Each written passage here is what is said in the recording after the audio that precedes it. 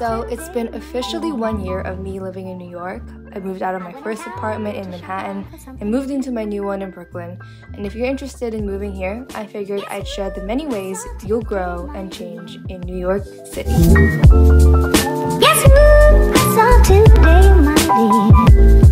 One, there's three people you need to know your laundry lady, your barista, and your deli guy. And luckily for me, my laundry lady became my go to for any neighborhood gossip. My barista was a family at Spongy's who, every time I came in, no matter who it was, they knew my exact order. And the deli that I lived on top of was a banh mi shop. Whenever I had nothing to eat in my fridge, my deli guy would always hook me up with that good old spicy banh mi.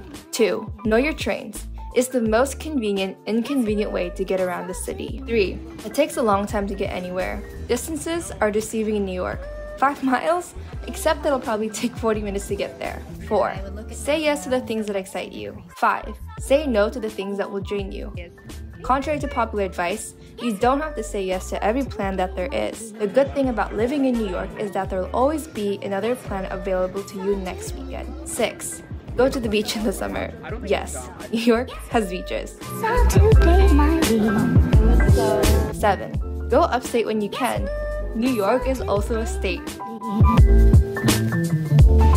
Yes! 8. Remember why you moved here, because the city will give you a million reasons to forget. 9. But will also give you a million reasons to stay. Guess who I saw today, my dear? Yes who hassle today, my dear. Guess who I saw today, dear. Guess who I saw too? 10. And remember, if you can make it here, you can make it anywhere. Yours truly, Trish.